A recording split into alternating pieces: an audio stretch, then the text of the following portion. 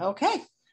Uh, what I'm going to do today, kind of how to transition through this, is um, I'm going to take you to our uh, checklist um, that we have. Um, we've got these budgeting scenario steps out there in our documentation and kind of take you through that and through a test instance so you can see um, how to go in and make adjustments for the current year and also how to go in and update amounts for the next fiscal year.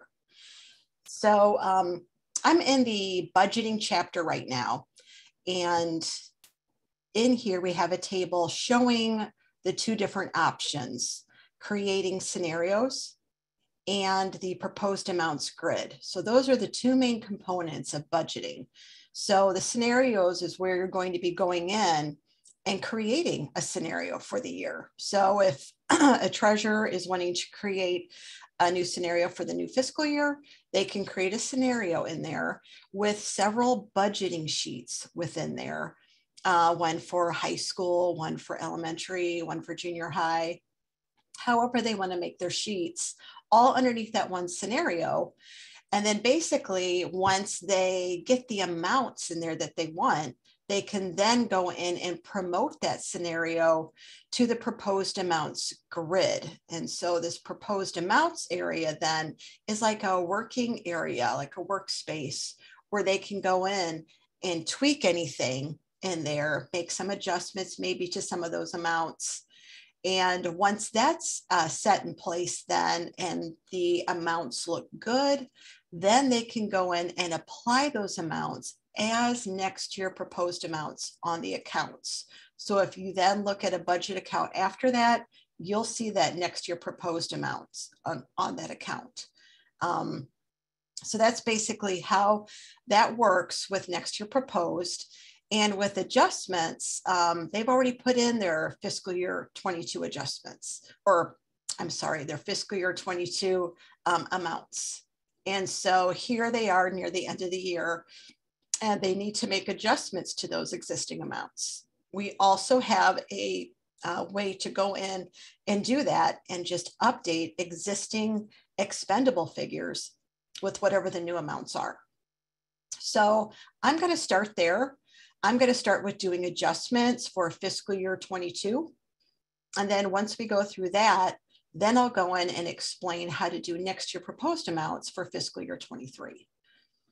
And so, like I said, we have two different uh, checklists here. So we have one for uh, next year proposed, and we have another one here for making adjustments in the current fiscal year. So that's where I'm going to go first. And this is something that you guys can um, download, um, go in and pull it in into a Word document, make any tweaks, whatever you need in order to create your own custom checklist for your districts. Um, but this kind of goes through exactly the different options and steps that you need in order to update existing amounts. So um, you can't just go into an account, a budget, a budget account, an expenditure account, and go in and modify the adjustments field. Won't let you do that.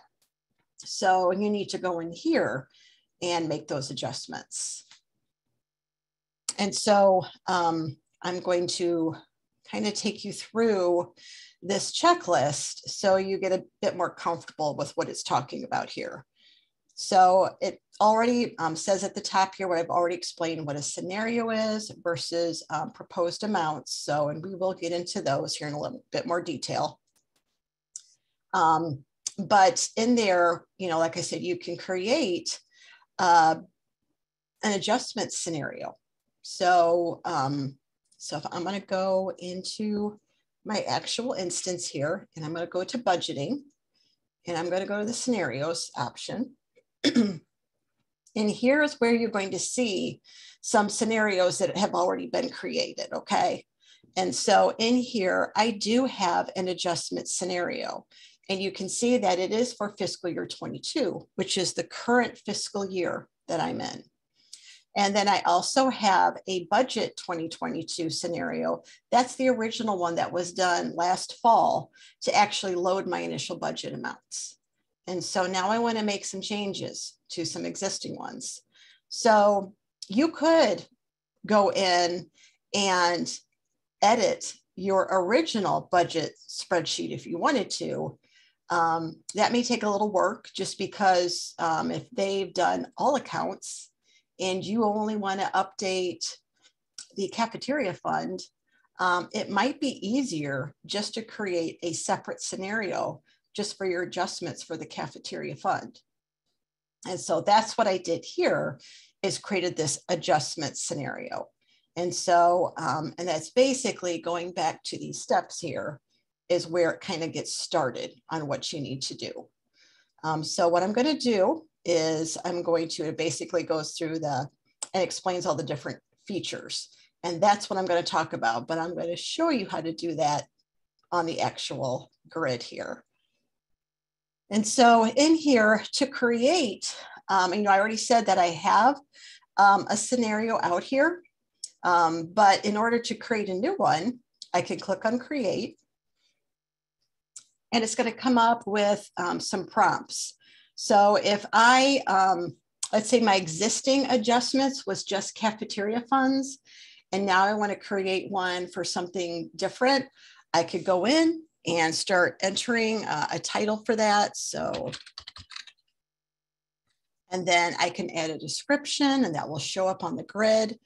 Uh, the fiscal year that I want, well, this would be really for 2022. I still want to, I want to make adjustments in 2022. And at that point, then I can go in and create budgeting sheets within this scenario. And I could have multiple ones. And we really recommend that they try to keep one, you know, scenario for all the changes that they need to make all those changes can be in all of those different budgeting sheets within that scenario.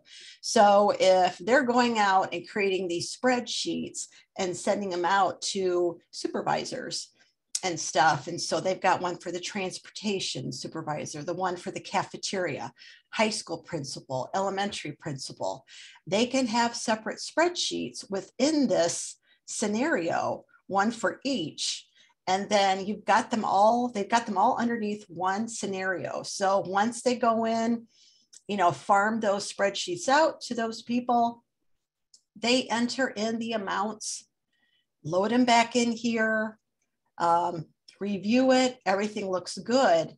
They can basically then take this scenario and promote it to the proposed amounts grid.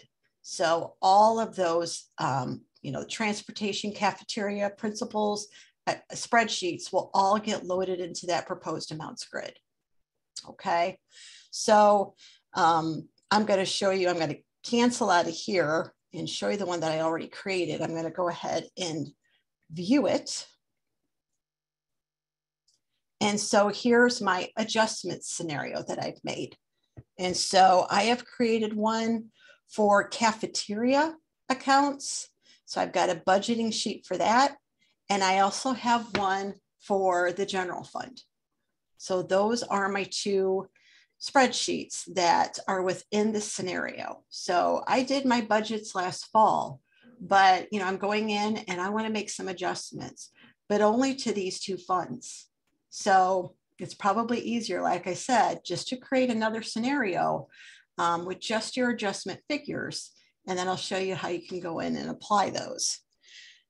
So what I'm going to do is edit this so we can talk about all the different options. You notice how it made all of those um, active so we can go in and make changes. So obviously, if I had another spreadsheet or what we call budgeting sheet that I wanted to add to this scenario, I could go ahead and click on create and it will um, pull this up here and it will create this budgeting sheet window here. And here is where I can get pretty detailed as to what I want to include um, on my spreadsheet and what I want to filter um, on my spreadsheet. And so the select properties by default, the spreadsheet includes all of these properties here, which when you think about it, it's the um, account code, the account description, the prior year expendable and expended amounts, um, the current year expendable and expended, encumbrances, and fiscal year to date unencumbrance. Those are the default settings. Now, if you're wanting to create, I'm going to slide this over here a little bit. So I created one for the cafeteria and I created one for the general accounts. If I wanted to go in and create a separate one for 200 funds, um, I could do that. And so what I'm going to do is I need to first um, decide if I want to add or remove any properties on my spreadsheet. Um, all it really cares about is the proposed amount field when it's loading the amounts in. But if you, you know, your treasurer wants to see something more or remove things, they can. So if I'm like, you know, I probably want, um, I know I've got the prior year, but maybe I want to see, let me look here, two years worth of expended.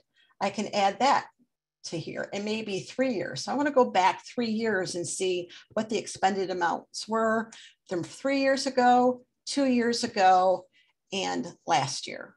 So, and then I, I think I can move these around too um, and adjust them. So I'm going ahead and I'm going to uh, add those. And let's say I really don't care about the encumbrance and the unencumbered. So I'm just going to remove those. So this is what's going to show up on my spreadsheet.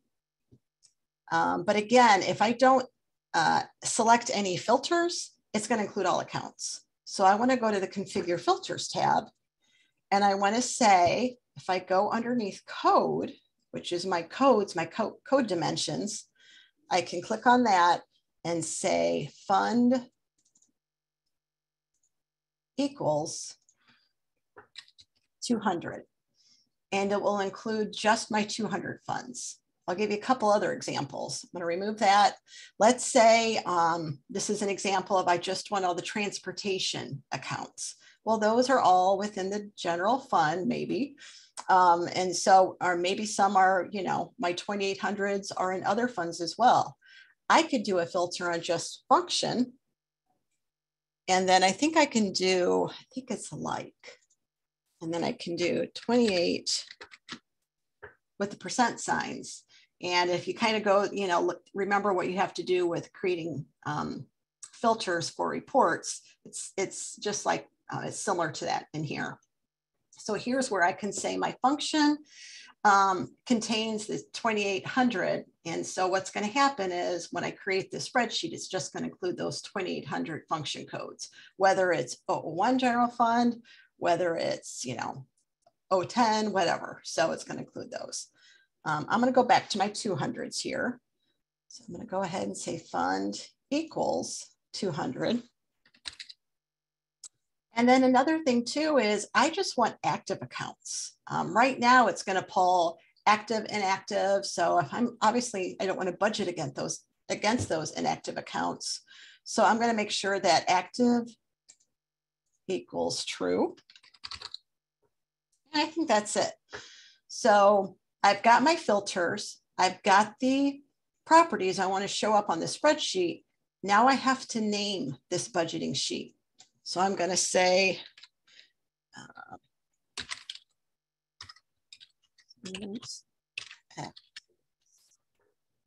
and I'm going to go ahead and save this. And it's going to tell me that you're creating a budgeting sheet and it may take a little bit. So I'm going to click on create. And what's going to happen then once it's done, I will get this message stating that it's been um, uh, it's been uh, created successfully. I click off of that. And now I have an additional spreadsheet in here. So that's how you create a budgeting spreadsheet. Any questions about the creation of a spreadsheet? Okay, I don't see anything in chat.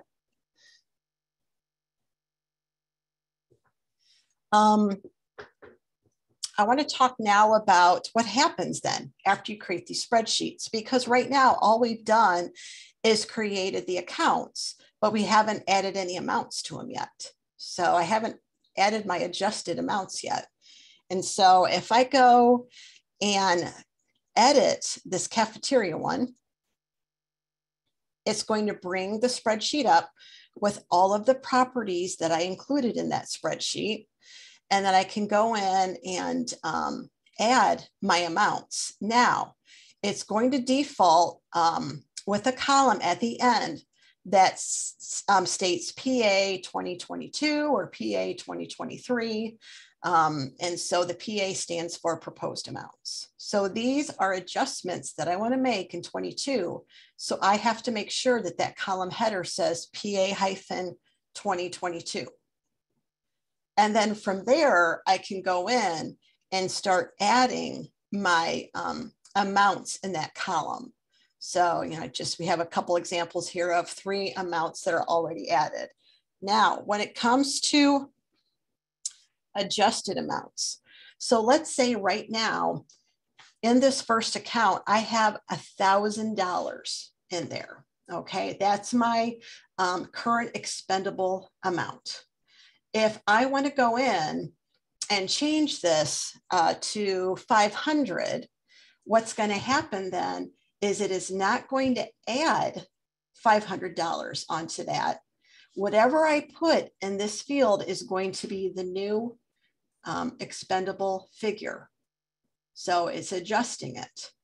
And so if I put in 500 here, when I actually go in and apply these amounts, it's going to adjust it on the adjustments field on the account as a negative $500.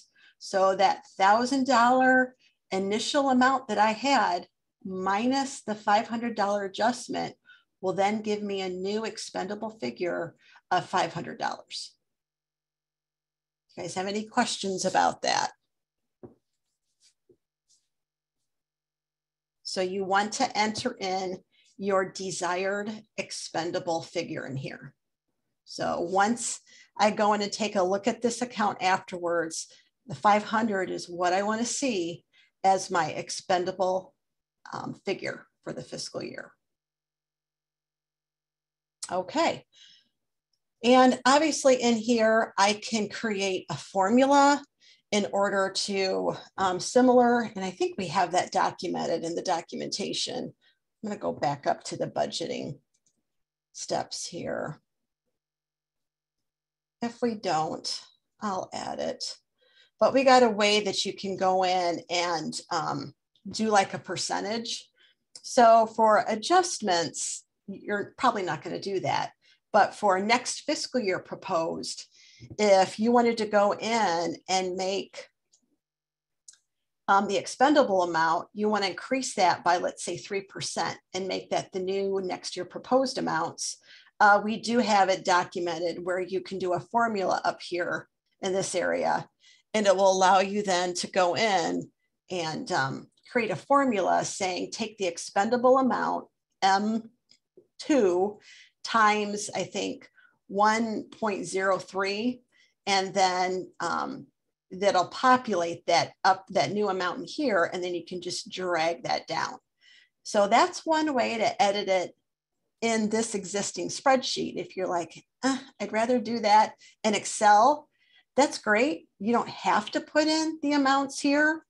You can go in, and I'm going to show you that. I'm going to cancel out of here.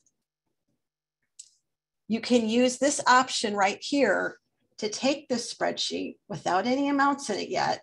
It's got the account code. It's got, you know, all of the, you know, stored amounts, but it doesn't have any proposed amounts yet you can take that and download it and it'll create a XLS formatted spreadsheet and even tells you that here.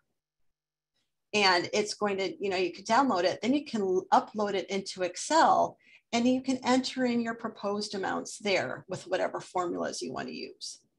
So you don't have to do it within this edit option. Uh, once you know this this spreadsheet is created, you know, you created it, instead of going in here to making those changes, you can go ahead and download it here, pull it into Excel, make the changes, and then you have this upload option, which will allow you then to upload that spreadsheet back into this scenario. Any questions about that part? So we kind of covered the edit one where you can go in and actually edit the existing spreadsheet in here. You can download it to edit it in Excel. Once you're done editing it in Excel, you can upload it back in. And then we've got this regenerate sheet option. And so if I click on this, it's going to take me back into that sheet like I'm in the create option again. And here's where I can go in and add or, or remove things in here. And when I do that, then uh, what it's going to do is going to save those changes I made to that existing spreadsheet. One little um, thing to um, make note of this though, is if I went in and made some changes in here and I had proposed amounts in that spreadsheet already, already, they will be wiped away. So you would have to re-enter those. The reason you would want to use this is let's say um, you had a spreadsheet that you used um, last fall and you're wanting to go in now and make some changes to it. And so you're going in and you're like, you know, um, it's my uh, 200 funds. And so um, I have added some 200 funds since last fall. Well, what I can do is use that regenerate option and it will go out there and um, find any of those 200 funds that have been added in there already because I've already got that filter in place. I should use 006 since I'm talking about cafeteria, I'm sorry. So, you know, I did my, my cafeteria budget last fall. Since then, I've added several accounts. So right now, um, this existing spreadsheet does not contain those new 006 accounts that I created. By going in and using the regenerate, it's going to regenerate that spreadsheet and include those other 006 funds because of my filter here. Okay. And if I wanted to go in and add or remove some properties, I can do that as well. And those will be removed. But once I do that though, um, and I go ahead and save this, it will go out there and remove those proposed amounts um, on that spreadsheet. These will be wiped away. So when you think about, um, this is probably something you would be using more often during when you're maybe, let's say, um, doing the next year proposed. If I cloned my 2022 scenario, and you can do that in here.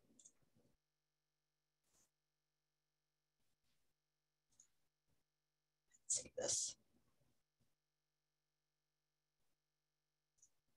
I can go in and take my existing uh, 2022 spreadsheet and I can clone that. And it's going to take all of these budgeting sheets in there and I'm going to create a 2023 spreadsheet out of that. Well, right now, when I go then and look at that 2023 spreadsheet, it is only going to contain the accounts from those 2022 budgeting sheets. So if I added some accounts for these particular spreadsheets since then, I can use that regenerate option to go out there and regenerate and refresh those spreadsheets to include those new accounts. But obviously, when I do that too, the proposed amounts are going to get cleared out because they're 22 amounts. I'm now in 23. They're going to be different. So um, then, you know, you're going to be going in then and either adding them by editing the spreadsheet, or like I said, using the download to move it into Excel, make the changes, load it back in. So that's what that regenerate basically does is it basically allows you to refresh whatever filters and stuff you have and include any new accounts and stuff like that that you've done since the last time you used that budgeting sheet.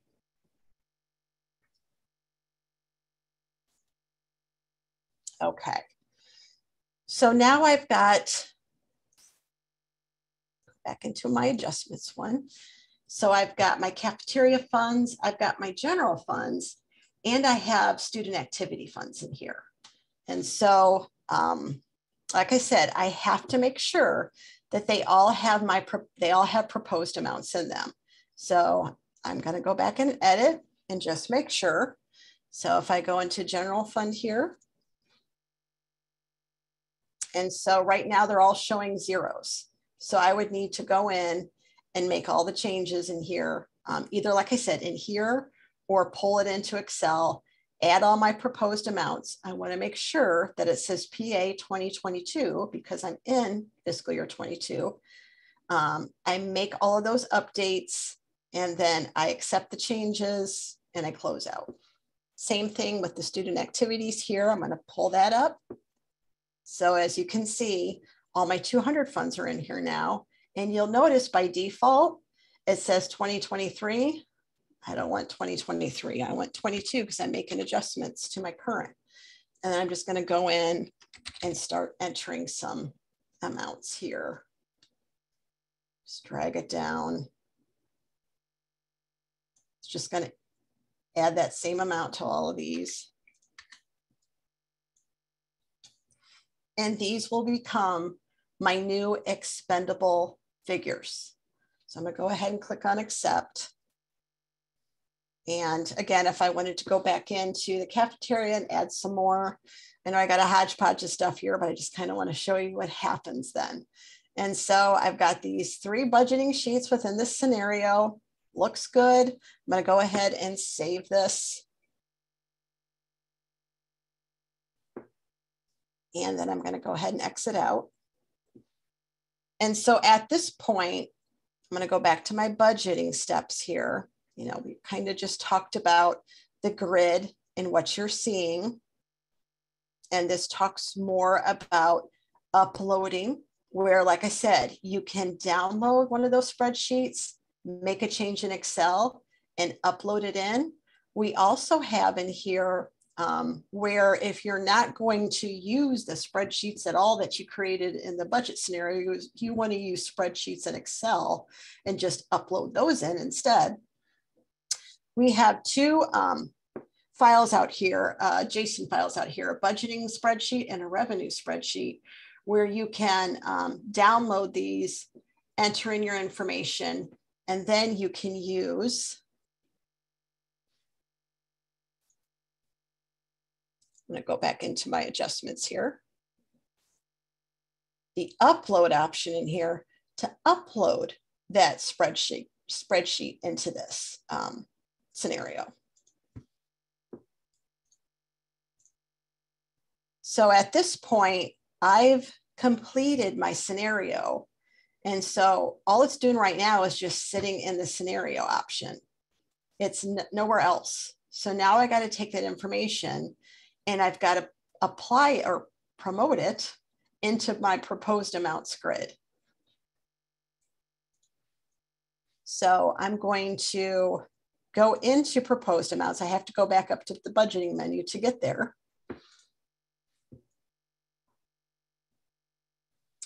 And right now, it has some data in here from the last time I did, um, I promoted some um, accounts. So these could be left over from last fall. Um, and so um, it's just going to contain all of those in here.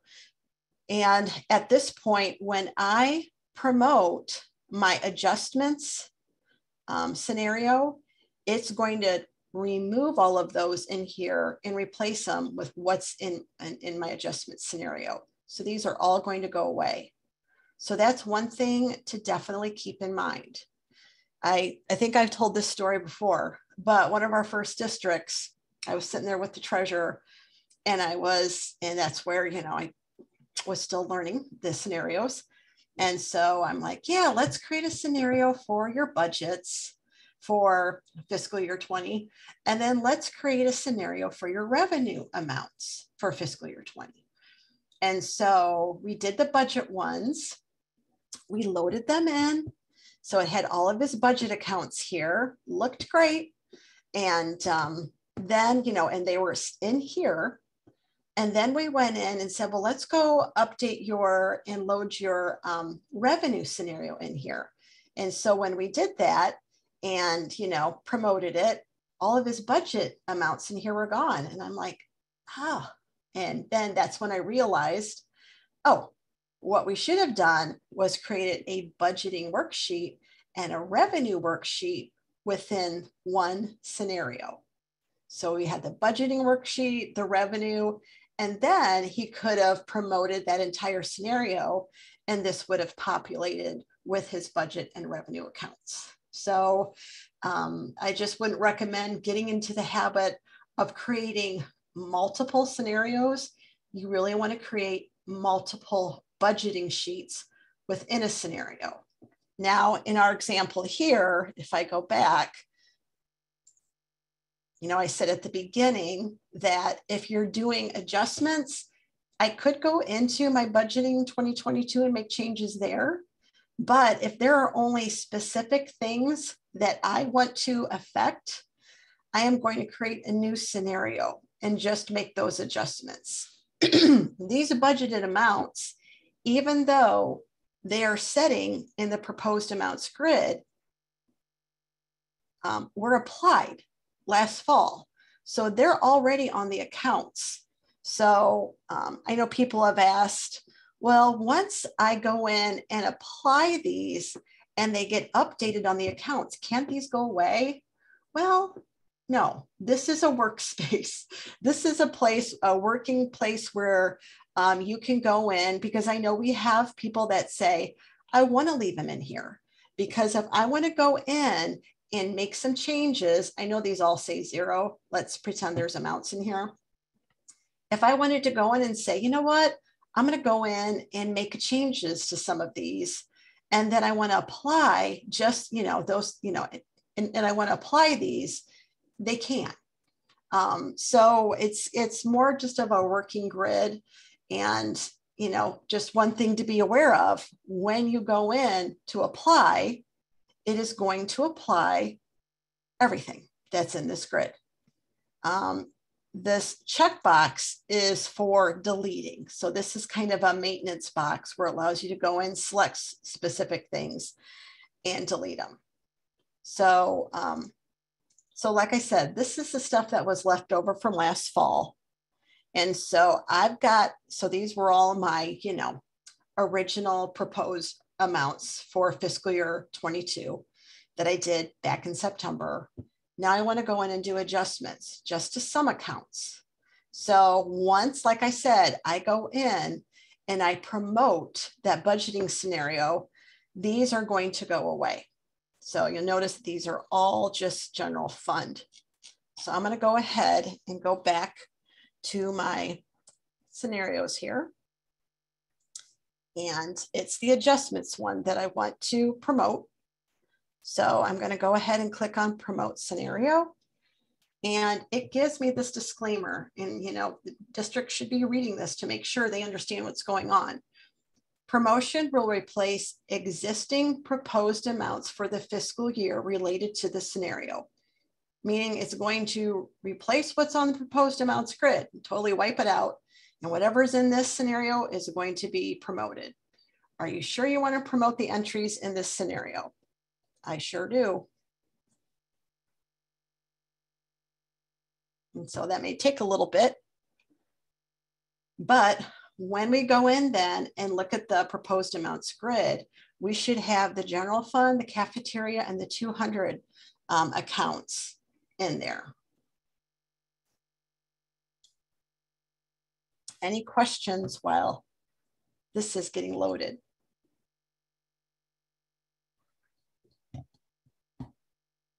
So at this point, it says that the promotion was successful. It's not going to change anything in my scenarios grid here. It's still there. But now when I go back in and go to proposed amounts, I'm going to have my 001. So because that was still part of it, if I keep scrolling down, Probably should have filtered the general fund a little bit more. if I move down here, eventually I'll get to the uh, 200s and the 300s here.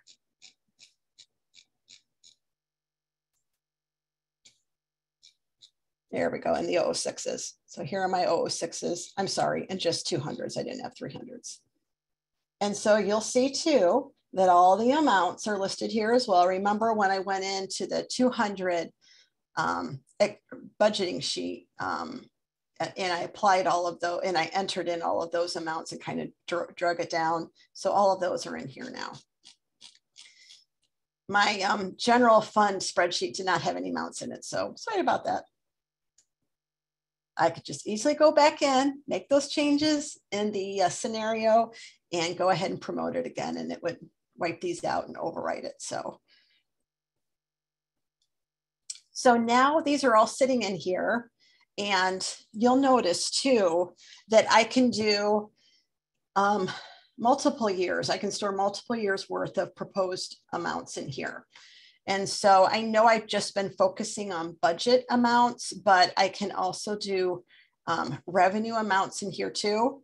Um, and that depends on when I created those spreadsheets. Um, if I selected either budget amounts or revenue amounts. My three spreadsheets in that scenario were all budget related. I didn't have any revenue. Now, if I did, um, then those would get loaded on the revenue side here as well. And so these are all obviously fiscal year 22 information. So whatever I have in this proposed field, um, or I'm sorry, in this amount field, and I'm going to do adjustments, it is going to go out there and replace whatever the current expendable amount is with this new amount that's sitting in here.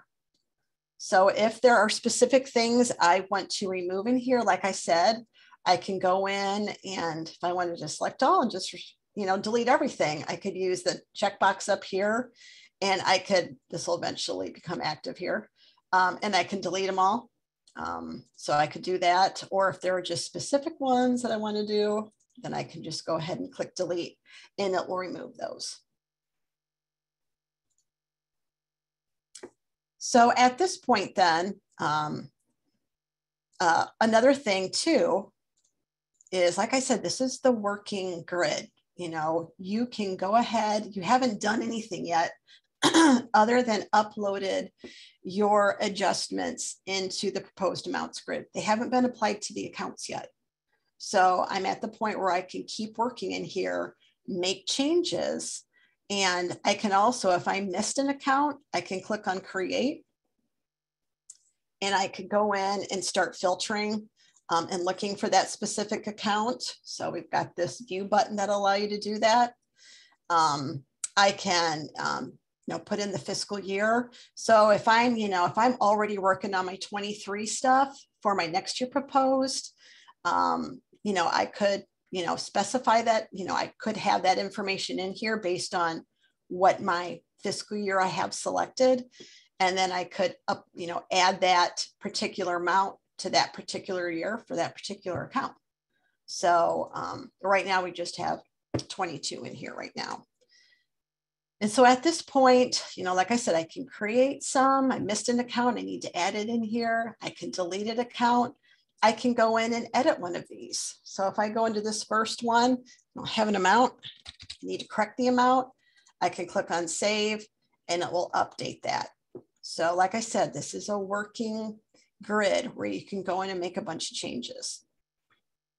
So once my proposed amounts are good to go, and I am ready to go in and make the adjustments for fiscal year 22. And if I go back to my budgeting steps here, this is where we talked about proposed amounts and what you can do in this working grid. My next step then is to go in and apply these adjusted amounts. And so how to do that is I don't need to check mark anything. Like I said, this check mark is basically for deleting. Um, and I got my fiscal year of 22. It's important. Make sure that that's selected. I'm going to click on apply and I'm going to get this menu.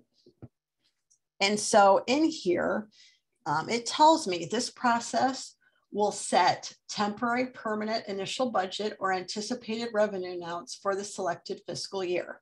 Well, what I'm really doing actually is an adjustment. So I'm basically adjusting existing amounts um, and replacing those expendable amounts with whatever is on my grid. So um, with that, with these, I always have to look at these options here. When I do an adjustment,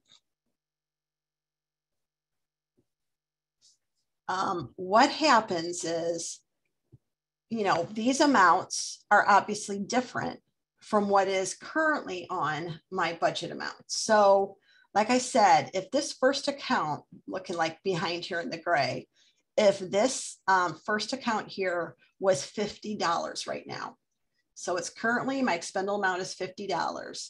I'm going in and making an adjustment for $100. I want that to be my new expendable figure. What's going to happen is it's going to go out there and it's going to make um, a positive adjustment of $50 on that account to equal the expendable amount of $100. So I'm going to see my initial budget of 50. I'm going to see a positive adjustment of 50, or if what if you want to call it uh, an addition, to equal my expendable amount of $100. That's what it's going to do. It will not change your initial budget figure. This is an adjustment. We aren't overwriting initial budgets. We're making an adjustment um, on this account. So that's why I want to make sure that I've got adjustment there. And then we've got an option where we could update the gap original estimates if we wanted to. So that's you know totally up to the treasurer if they want to make those gap original amounts and change those to equal this new. And that depends on what they have set with um, you know, their final, you know, budgets and what's been approved. So here we are in February, and those final uh, budgets were done in December. Um, then they probably aren't going to update or check mark the update gap. They're probably going to leave that go. Um, so it just depends on you know what the treasurer wants to do at that point. And so the effective date, um, in here, you'll notice it's got a little like exclamation point here because it's not sure um, what you want to do with this. Um, so it has here um, for the effective date, it's going to automatically default to the first day of the fiscal year selected when you're doing temporary or permanent transaction types. Well, this is an adjustment type. When it comes to the adjustment type, you have the option of entering in an effective date. And that makes sense because that adjustment should not become effective until that month. I'm in January in here. And so if I want these to be effective for January, I can put in 01 01 2022. And then when I click on apply, what's going to happen then is it's going to go out there then and apply these amounts as the new expendable figures.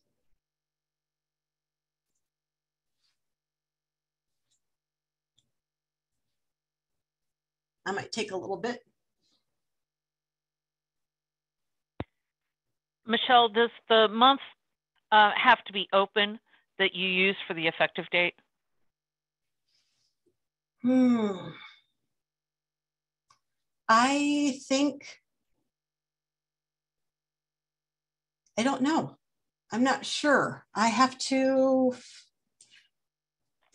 um, I think it does, but I'm going to check on that. That's a good question. I also had another question. If you only have a few adjustments to make, can you um, just go to accounts, um, expenditure accounts, find your account, and then view it and add an adjustment there? Yes, yes. Okay. Um, there's a budget adjustment option underneath the accounts. So if you just have a handful to do, you can do it there. Um, uh, you just can't make you can't make um, the actual change on that adjustments field, but you can do a budget adjustment to make those changes. Correct. Okay.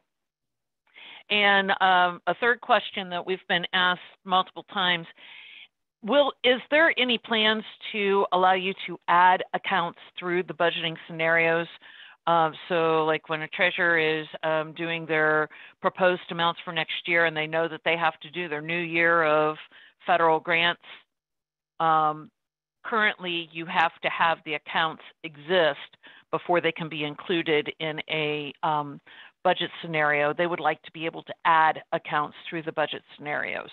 Is that on the roadmap at all? I'll have to look into that. I'm not sure. We'll look to see if that's a, a feedback issue already. I want to say it is because I believe we asked that with our um, first district that we brought on. Okay. All right. I'll check it out. Is this Mary? Yes. Okay. I'll check it out, Mary, and I'll uh, let you guys know what I find out about that. Yeah, I'm not sure um, if that's something that we already have or if it's possibly on a roadmap for this year. So we'll look into that, see what we can find out. Okay. Thank you.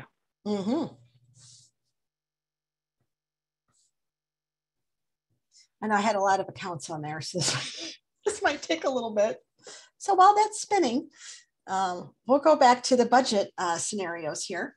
And like I said, you know, this um, checklist will provide all the details when you're doing adjustments. And it down here, it talks about the apply adjustment, adjusted amounts. And um, we don't have anything in there. I'm looking to see if it says anything about the affected date.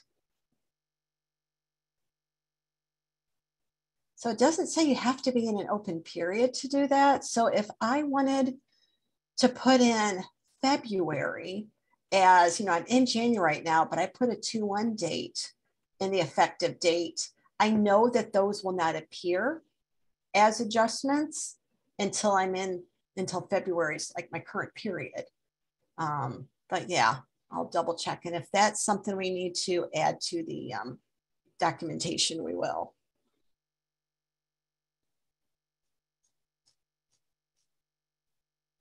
Okay.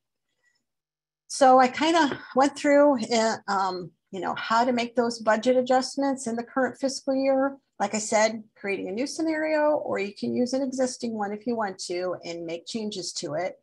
And then once you've got that budgeting scenario done, you're going to promote it to the proposed amounts grid. Whatever's sitting in there right now is going to get replaced with your new uh, scenario accounts. And then that's the working space then, proposed amounts grid where you can make changes. And then from there, you're going to apply those. And whatever sitting in that grid is what is going to get applied. So it's definitely going to go ahead and um, make all those based on that apply type that you selected. When we're talking about adjustments, obviously, you're going to use the adjustments transaction type to do that. So I'm just going to go ahead and open up a new session while that's cooking.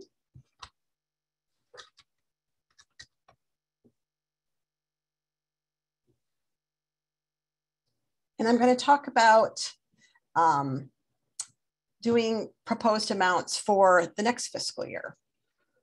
And so I'm going to go back and um, we also have a worksheet here for next year proposed amounts. And so both of these um, worksheets are under our useful procedures, but we put it also in the budgeting chapter so you can guys, you guys can go right to them right away. So this is where you are creating amounts for the next fiscal year. So you're not doing a uh, adjustments in 22, you're doing brand new amounts in 2023. And so again, um, you can take that um, here. You can take that 2022 scenario. And like I said, when I view it, I can click on clone and it's going to clone whatever budgeting sheets that are in here. Click on that. It's going to pull everything from that into a new budgeting scenario. And then I can add or remove whatever budgeting uh, sheets that I want um, in that new scenario. It's probably taking a while because this is still thinking. Sorry.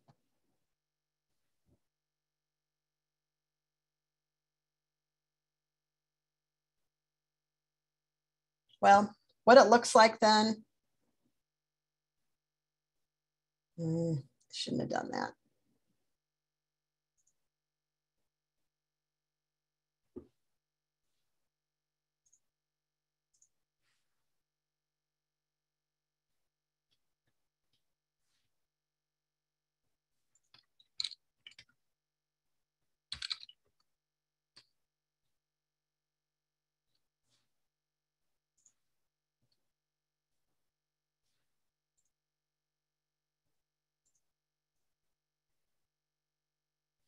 If you clone from fiscal year 22, it won't pick up any new accounts added in 22 throughout the year, though, will it?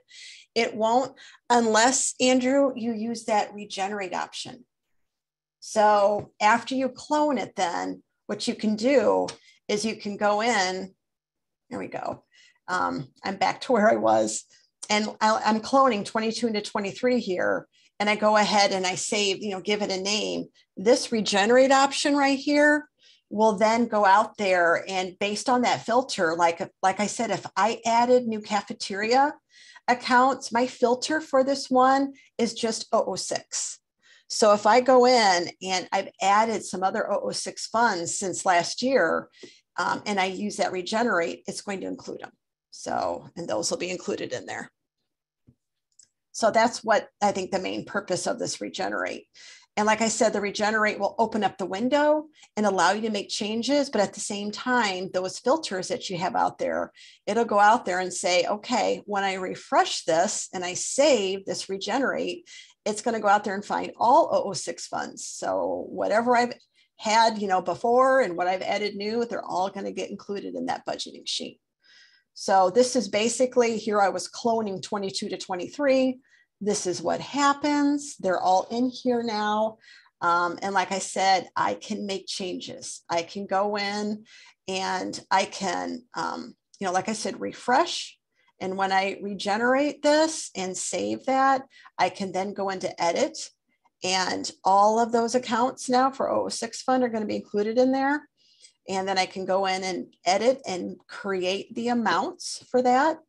Um, if I wanted to go in and say, you know, this general fund budget one, I need to filter that because it's got 500,000 accounts on it.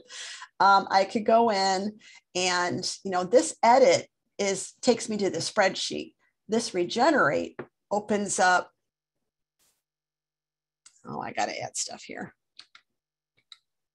I'll just go into my 23 I already have here. So I've already cloned this. So I'm just going to go ahead.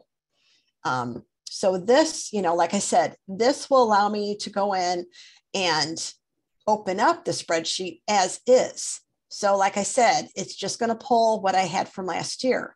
If I had more accounts, 006 accounts that I've added, I want to refresh it first. So it takes me in here. If I just want to save the sheet, great. Don't make any changes.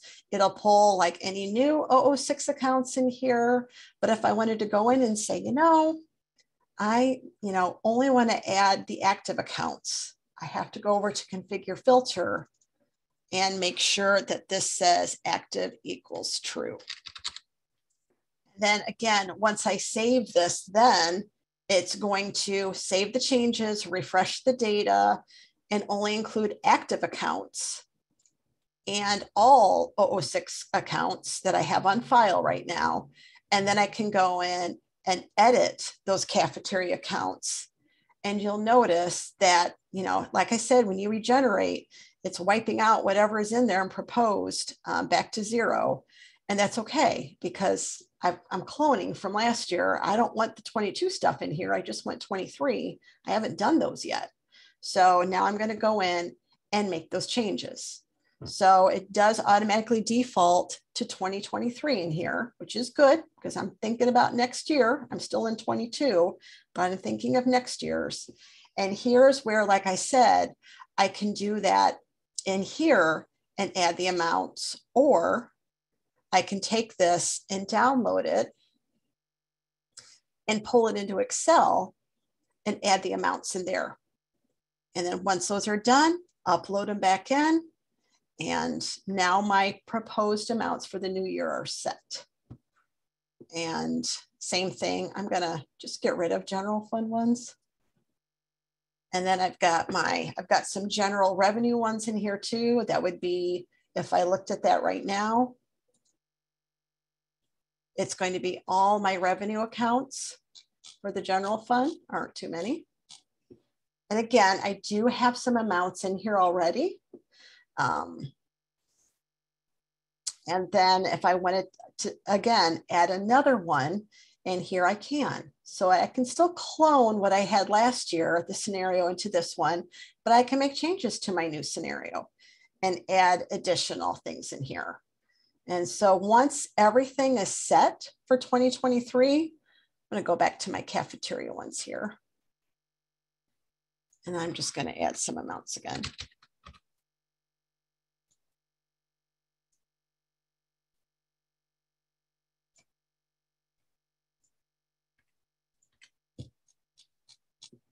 And I'm going to save that. And again, I'm going to look at my general revenue. They all should say 2023 looks good. And you notice too in here, you can even remove things if you want to and clean it up while you're in here if you want to. But um, mostly you're going to be doing that when you're actually in the spreadsheet and you can remove those properties from here. So everything looks good for this budgeting scenario for next year. So I'm gonna go ahead and save it.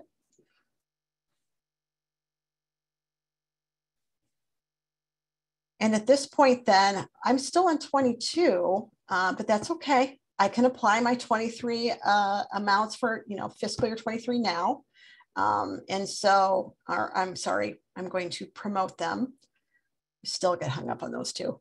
Um, so I'm going to click on promote scenario.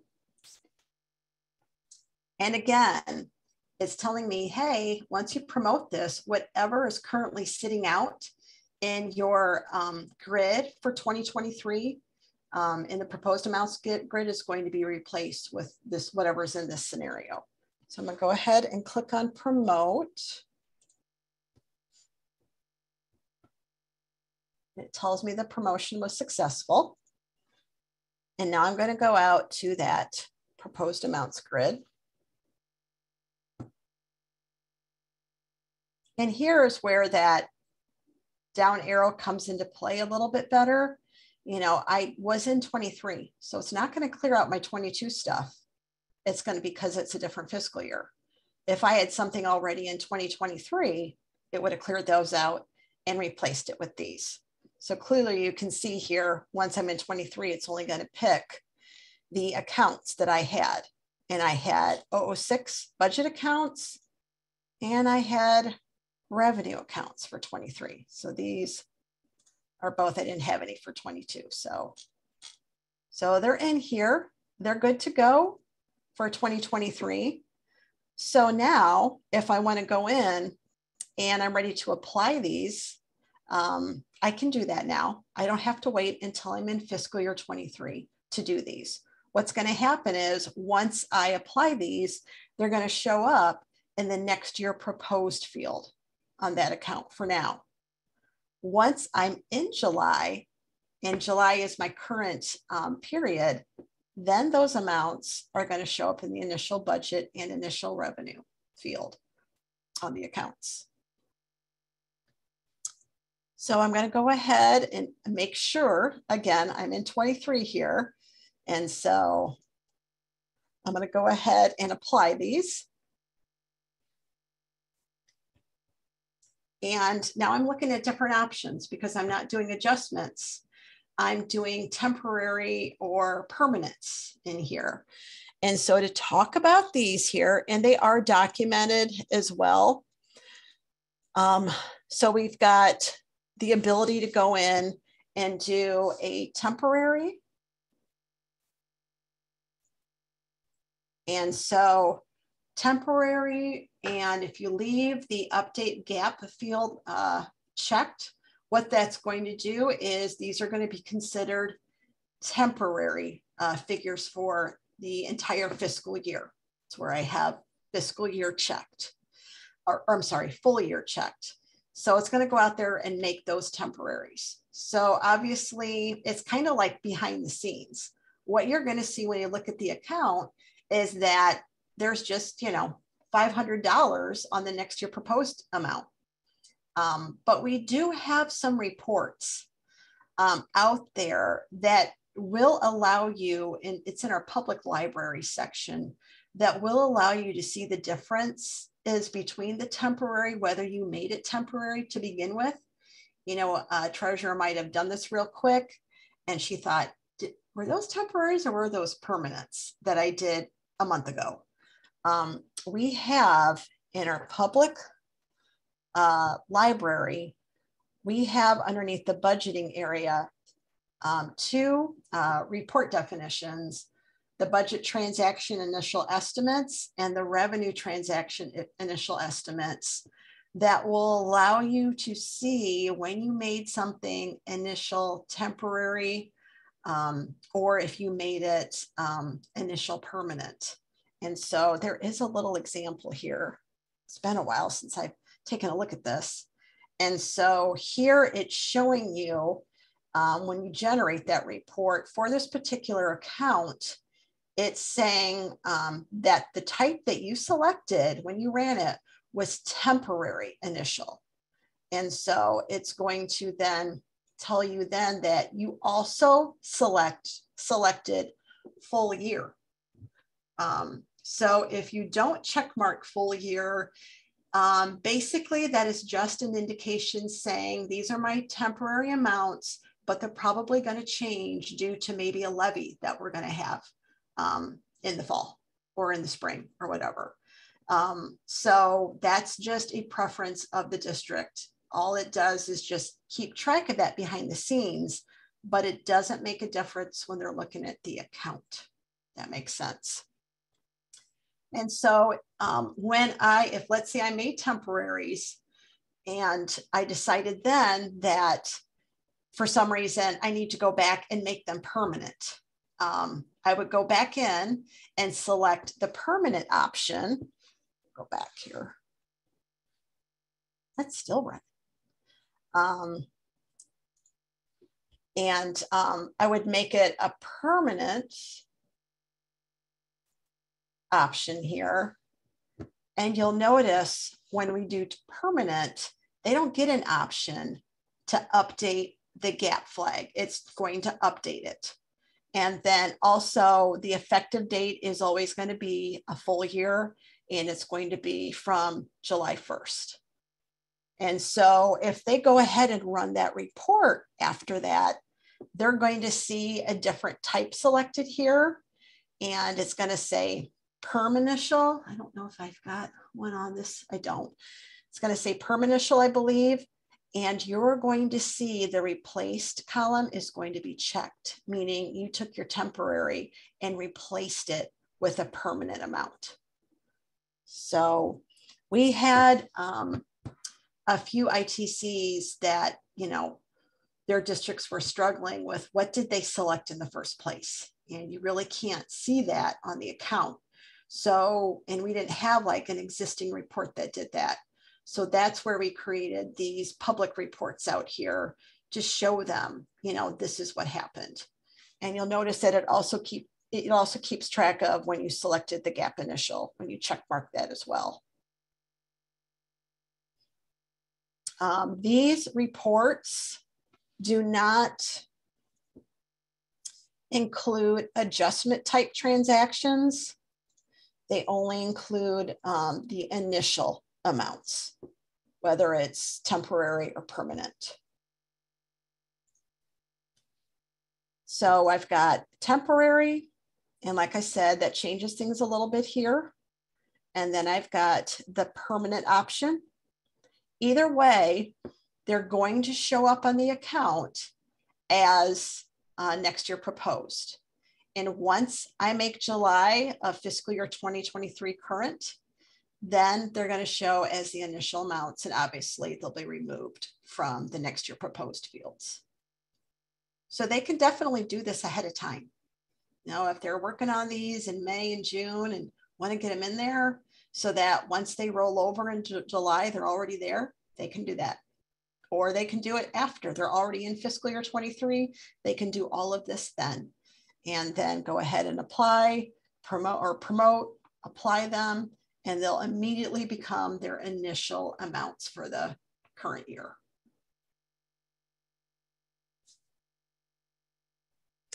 If they leave them as temporary for the year, is there really any impact besides the report? No. And I'm glad you asked this question, Nancy, because what we did back in one of the last year's newsletters, last fall, we had like an FAQ regarding this. So I'm going to go to our newsletters here. I think it was last September, maybe. Aha, it was. Um, easing your budgeting conscious. We did an article on this and we had these same questions here. Um, you know, if I'm ready to apply permanents, can I somehow confirm I ran temporaries already, originally? That's we were talking about those reports and we even have them linked here, um, those public reports. How do I apply permanents? My temporaries were approved and no changes needed. Do I need to make them permanent on the system? You don't have to. And that's where we answer that here. Um, and then we just have some other miscellaneous budgeting Q and A's here for you guys.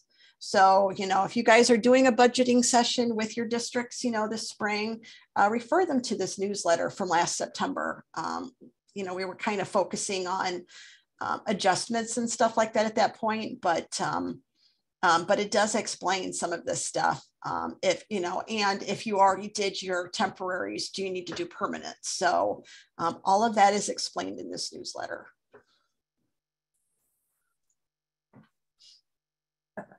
Hey, Michelle.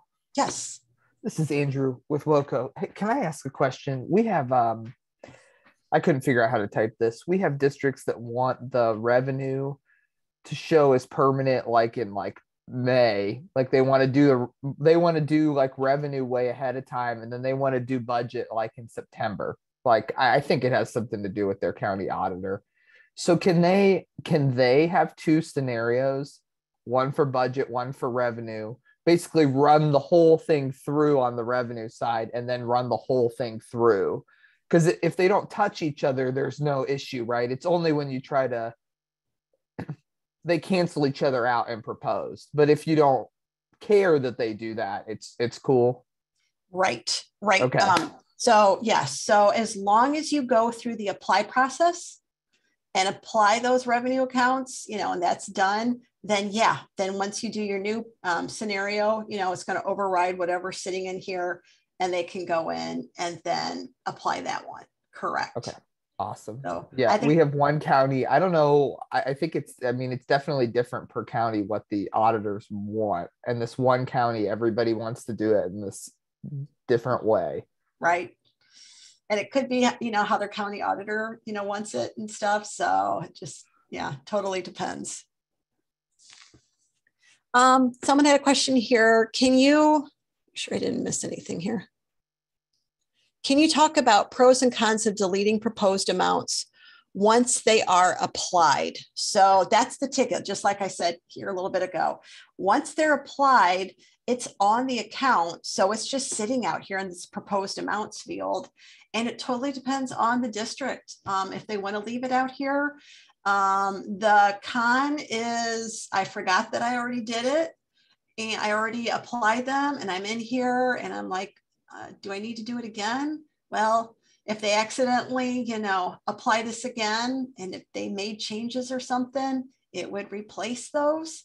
Um, leaving it out here just to leave it out here could be a con because people are like, I'm not sure what I did.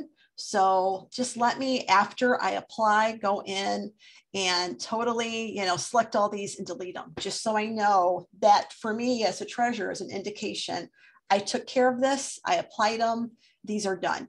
So that's kind of a con or a pro of like cleaning this up is uh, because you don't, you aren't left with that confusion of, did I do anything with what's sitting here in the proposed amounts grid? So I don't know if that helps a little bit, Nancy. Um, but you know, it just depends on on the treasurer.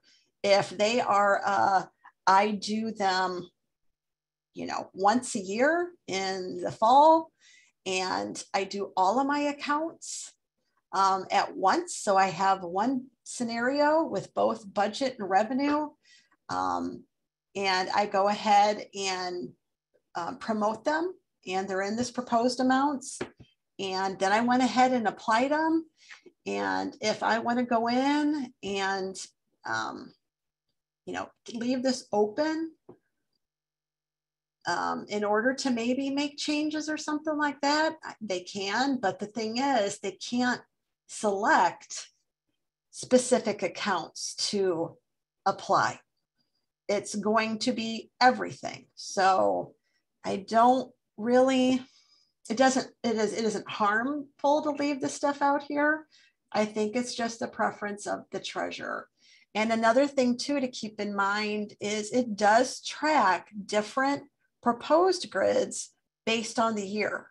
So that might get confusing too, because if they are in 22 and they're looking at 23 stuff and going, wait a minute, these aren't right, you know, it's because they're looking at the wrong year. So again, I think it's just total preference on what the treasurer wants to do. If they don't like to leave this out here because they think it looks messy and confusing for them, clear them out. Once you apply them, um, go back in here. And that's why we, you know, have that box up here at the top to mass delete. Okay. What else? What other questions do you guys have? I think I went through the different options of applying. So since you are um, taking a pause for questions here, I figured I would uh, chime in. I did go ahead and test with um, applying adjustments um, and with different dates with closed periods, and the period does not have to be open. Um, so I confirmed that. So that's probably why we don't have it like specifically documented because like it doesn't have to be open is what I'm thinking. You know, if it was restricted, then we then we'd probably have it in there. Right. Um, I did also search for a JIRA issue for having accounts created. Um, you know when loading into scenarios and i i didn't find an issue and i and i didn't even necessarily find like a specific ticket it looks like um we've discussed like using spreadsheet imports uh you know so you could kind of like adapt that same spreadsheet to um you know use to load accounts. But um yeah yeah i didn't i didn't find a specific jira issue but you know definitely like if um you want to send in a ticket we can review further and and always get a feedback issue made. But uh oh, yeah perfect. that's my Thank update. You, amanda no problem let's see i've got a couple other notes here and we might may have talked about some of these already um see for districts so obviously i think one question we have and it's probably not so much a question anymore since we're on wave nine, but um, if districts have next year proposed amount setting in classic right now and they are migrating over in wave nine, will those be imported to the proposed amounts grid? Yes, they will. So those will show up in there. Obviously, there won't be any scenario for them because it can't create that. Um, but if you know you have classic next year proposed amount sitting in there and you know they migrate over next week, those will appear in the proposed amounts grid. Um, so next year proposed amounts, like I said before, are going to show up on the amount when the figures are in the proposed amounts grid. So, you know, right now I see the 500 here.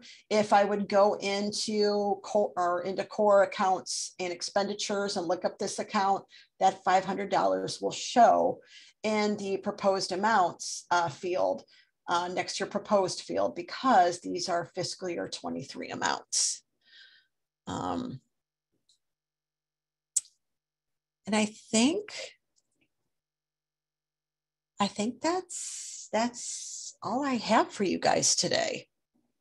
I hope that helps. Um, I think having the budget scenarios um, checklist here that we have, like the step-by-step procedure, is going to be very helpful um, when going through this with your districts. You know, you can just basically go in here and start from, you know, creating the, you know, scenarios to, you know, going to the proposed amounts and promoting them, you know, to applying them. It just goes through that whole thing, whether you're doing temporary or permanence or whether you're doing adjustments. It kind of explains all that in there.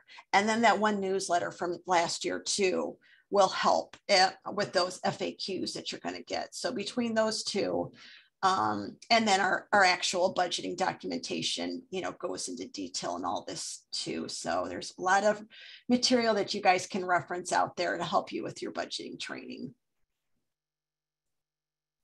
Okay, um, just to kind of go back to our training page here. Um, we have, um, just to let you know, we, are busy, busy with all these trainings. And I'm sorry, you're going to have to see me one more time next week. Um, we have uh, the JIRA custom dashboards training um, out there available for you guys to register for now. And so we're going to talk about customizing um, dashboards in JIRA for you guys, whether you want to filter on, you know, the USAS um, or payroll or inventory dashboards, um, or you want to filter on the service desk stuff. Uh, we're going to go through that next week. We're going to, I'm going to kind of show you how to start from scratch with your new account in JIRA. So that's next week. And then um, March, um, first weekend of March, we're going to go through the releases. And uh, one thing that we are working on right now, um, and I think you know most of you probably know all this already, is that we're going to be doing a monthly recap session at the beginning of every month. We're going to talk about the prior month's releases for payroll, USAS, and inventory. Um, we, we were doing them quarterly and talking with um, the support team. We, you know, felt like this probably should be a monthly session instead of a quarterly and make it easier. And with that, we also came up with, um, go back here this release recaps. And um, we're going to have this, um, we're going to talk about this on the next uh, newsletter, which hopefully goes out today. Um, but uh, we're going to talk about this release recap where what we're doing is we're going in and providing a recap for you guys on what happened in January. And so instead of you guys having to go to the release notes and payroll and then finding the release notes in USAS and in inventory, and they're all three different areas of the wiki. We combine them all into one uh, document basically, and we are listing uh, the release, what happened that month, and then we're going to go in and provide just, uh, we're still tweaking this here. We're going to update all of this to give you an easy to describe, you know, what happened with that JIRA issue um, and, and uh, you know, non-technical terms. Um, and we're going to put that stuff out here and explain what were the bug fixes from payroll in January, what were the improvements, what were the new features. Um, so we're going to do that for each application here in inventory. What did we do? Um, and we're going to provide that for every month. So that's going to be out there uh, for you guys. Um, so like I said, well, you know, we'll recap this. We're going to have to do, we're going to have to catch up first. And so that first training in March um, is going to cover January and February. And then from then on, we're just going to do the prior month. So those will always be that first uh, Friday um, of each month. We're going to review the prior month's um, enhancements. So, and I think that's it. So yes, if you haven't signed up for some of these sessions already, uh, please do so. Um, you know, those are out there. We, I think we have most of the links created. I know we have a few, probably mine, that haven't been created yet. Um, but yeah, we've got everything out here. So please feel free.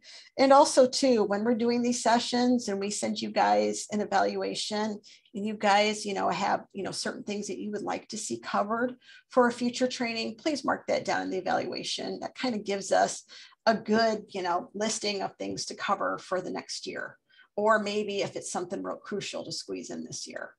So again, thanks everybody. Have a wonderful weekend and uh, we'll see you guys next Friday. Thanks.